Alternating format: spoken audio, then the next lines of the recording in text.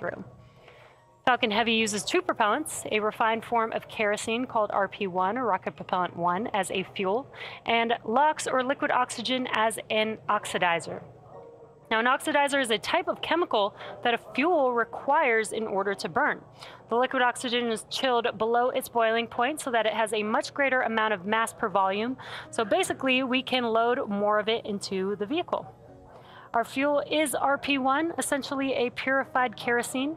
It is safe, easily available, and has a lot of history. And in fact, the Saturn V first stage flown from this very pad on the moon missions also used liquid oxygen and kerosene. And in addition to these two propellants, we also use the chemical TTEB, or triethyl aluminum and triethyl borane, as an ignition source. The combustion of RP1 and liquid oxygen is what makes the rocket go, and it's the TTEB that sets the match to the propellant mix. Now next up, the trusted structure next to the vehicle. Tanks are pressing for a strong back retract. And there's that call out just in time. The structure next to the vehicle is called the strong back or the TE. And in preparation for retraction, the clamp arms will begin to open. There's clamp arms that just there that you can see on your screen below the fairing. Those will begin to open up, and once they are fully open... back retract in progress.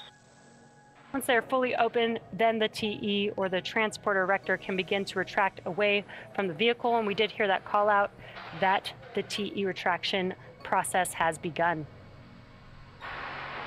Now, as I mentioned earlier, today's launch marks our second Falcon Heavy flight in just 11 weeks. And for those of you following along, a lot will happen in the first four minutes of flight. And there you can see on your screen that the clamp arms have begun to open. Falcon Heavy is in startup.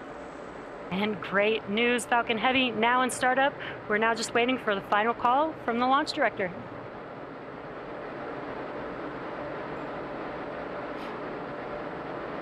This is the mission director. Go for launch. And excellent news, all systems are go for launch of Falcon Heavy with USSF 67. T minus 30 seconds.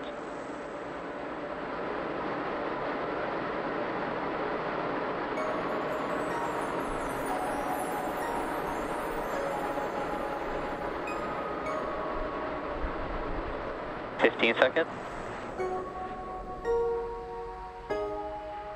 T minus 10, 9, 8, 7, 6, 5, 4, 3, 2, 1. Engine full power. And liftoff of USSF 67. Go Falcon Heavy. Go Space Force.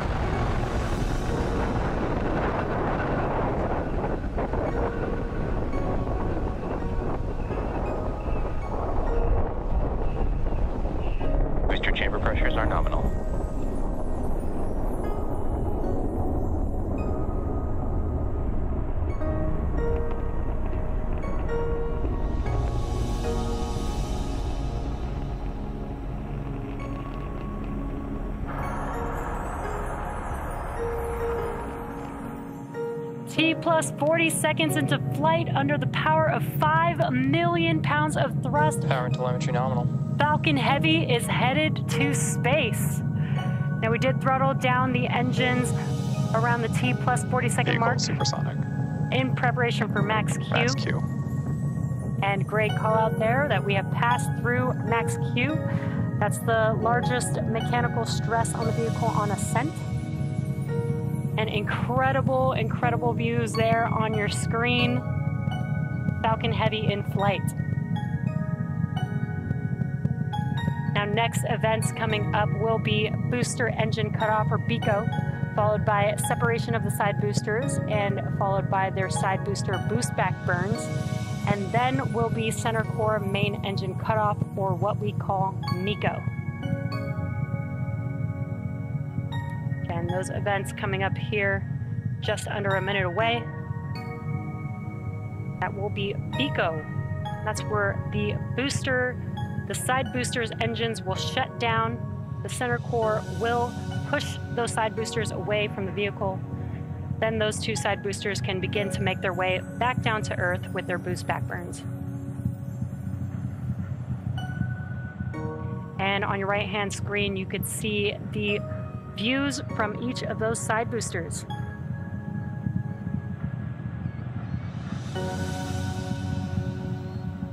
Really incredible views here. Again, we will have BECO, side booster, boost back burn, followed by main engine cutoff of the center core here in just a few seconds.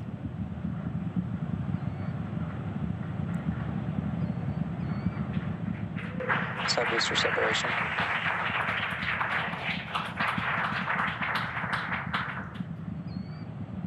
Side core booster startup.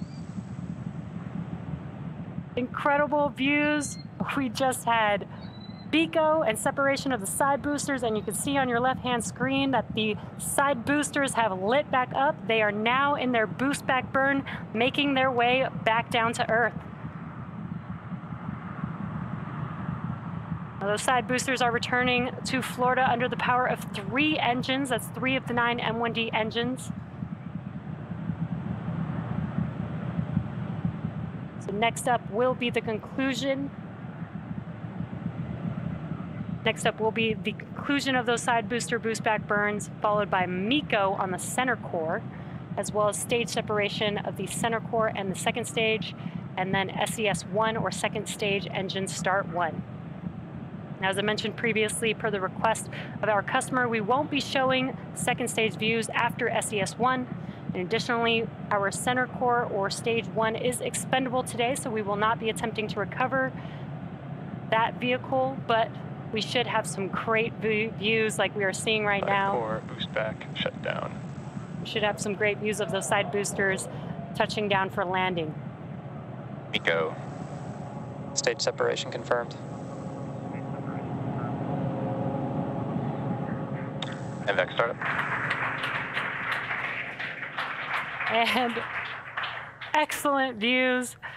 We had the Stage one FTSSA has safed. We did have the shutdown of the boost back burn. We did have the shutdown of the boost back burns on the side boosters as well as MECO on that center core and stage separation.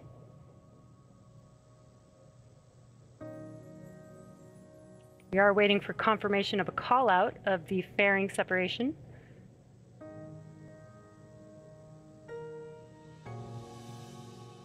All vehicles are following nominal trajectories.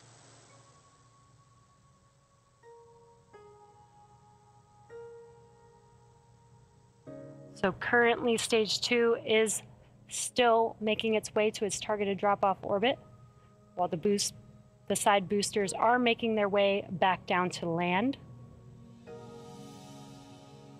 Again, these side boosters have another burn coming up. That will be the entry burn. That will be three of nine M1D engines reigniting. That helps to slow the boosters down in preparation or as they re enter the Earth's atmosphere.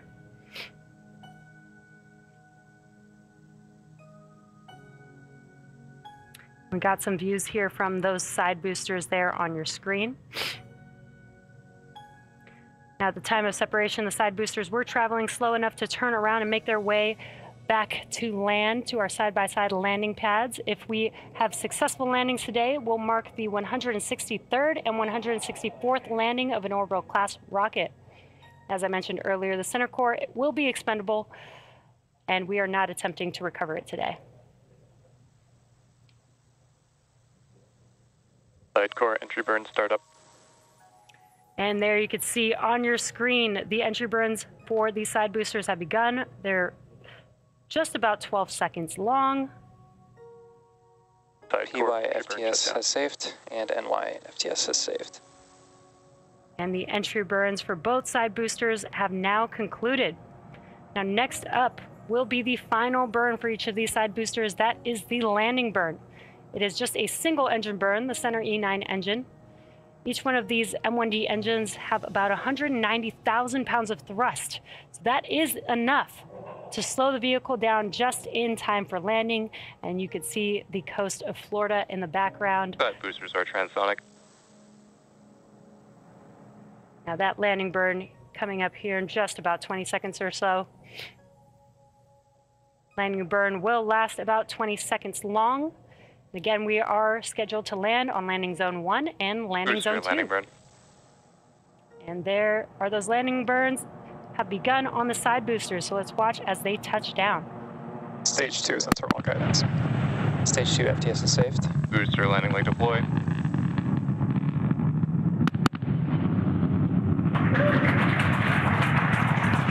And what an incredible sight to see as we watch the side Falcons boosters landed. Touchdown for landing. That confirms successful landing of both Falcon Heavy side boosters on landing zone 1 and landing zone 2. Now, with these two side boosters, this marks the 163rd and 164th overall successful landing of an orbital class rocket. It's also the 25th landing on landing zone 1 and the 6th landing on landing zone 2. And with successful confirmation of our side boosters landing, that will bring today's webcast to Nominal a orbit close. insertion.